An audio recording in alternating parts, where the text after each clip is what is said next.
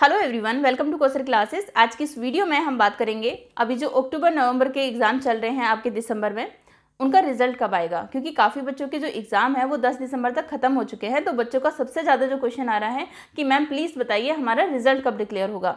तो बच्चों, आपका रिज़ल्ट कब आएगा? इसके बारे में अभी इस वीडियो में बात करेंगे। साथ ही साथ यहाँ पर ऐसे स्टूडेंट जिनके, जिनको लगता है कि उनका एक दो सब्जेक्ट जो है वो अच्छा नहीं हुआ है, उनको ये चांसेस लग रहे हैं कि उसका, उनका वो पेपर क्लियर नहीं हो पाएगा तो ऐसे बच्चे इस वीडियो को एंड तक देखिएगा, ठीक है?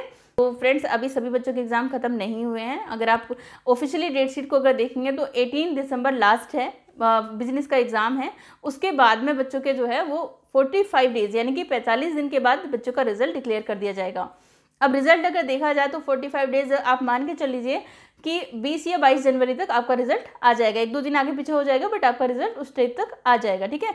हो सकता है इस बार आपका रिज़ल्ट जल्दी ही आ जाए, ज़्यादा लेट ना किया जाए। तो फ्रेंड्स ऐसे स्टूडेंट जो कि अपने रिज़ल्ट का वेट कर रहे हैं, वो बच्चे चैनल को सब्सक्राइब कर लें बेल आइकन को प्रेस कर लें, क्योंकि जो भी नोटिफिकेशन आएगी, सबसे पहले आपको चैनल पर मिल जाएगी और आप तक वो इन्फॉर्मेशन टाइम से पहुँच जाएगी। तो चलिए अब उन बच्चों के बारे में बात कर लेते हैं, जिनको लगता है कि उनका एग्ज़ाम अच्छा नहीं हुआ है, उनका एक दो सब्जेक्ट में हो सकता है कि कंपार्टमेंट आ जाए या कुछ हो जाए, वैसे मैं दुआ करूँगी कि आपका पेपर अच्छा हो, आप पास ही हो जाए सब बच्चे, ठीक है? लेकिन फिर भी हमें एक पता रहता है कि हम पेपर में कितना कर कर आए अगर हम पेपर में कुछ नहीं लिख कर आए तो सिंपल सी बात है, हमें एक आइडिया रहता है कि हाँ हमें इस एग्ज़ाम में बैक आ सकती है।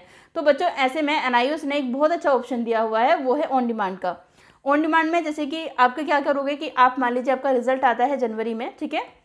उस टाइम पे किसी सब्जेक्ट में मान लेते हैं बाई चांस आपके किसी में कंपार्टमेंट आ गई तो आप वहाँ पर क्या करेंगे कि एक सब्जेक्ट की फ़ीस पे करेंगे और अगर आप अभी से अपनी एग्ज़ाम की तैयारी कर लेंगे तो सिर्फ़ पंद्रह दिन के अंदर अंदर आप अपना एग्ज़ाम दे सकते हैं। तो आप अभी से अपनी तैयारी करके रखना, आप चाहो तो पाँच दिन या दस दिन के अंदर अंदर भी आप अपना एग्ज़ाम दे सकते हो, वो डिपेंड करता है आपकी एग्ज़ाम की प्रिपरेशन के ऊपर, ठीक है?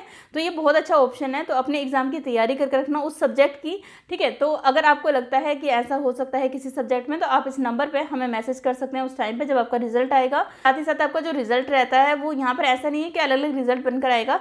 एक ही आपको रिज़ल्ट मिलेगा एन से, ठीक है? ऑन डिमांड का भी और उनका भी, सबको मिला के एक रिज़ल्ट आपका आएगा, जिसके बाद आप आसानी से एक महीने के अंदर अंदर अपने कहीं पर भी कॉलेज में उसको यूज़ कर सकते हैं, ठीक है? तो फ्रेंड्स इसी तरीके की अपडेट्स के लिए चैनल को सब्सक्राइब कर लें बेल आइकन को प्रेस कर लें। थैंक यू फॉर वॉचिंग नाम दे दिए हैं और आप ये जानना चाहते हैं कि एन की आंसर सीट कैसे चेक होती है तो आप इस वीडियो को देखना मत भूलिएगा। ये वीडियो का लिंक आपको डिस्क्रिप्शन बॉक्स में मिल जाएगा।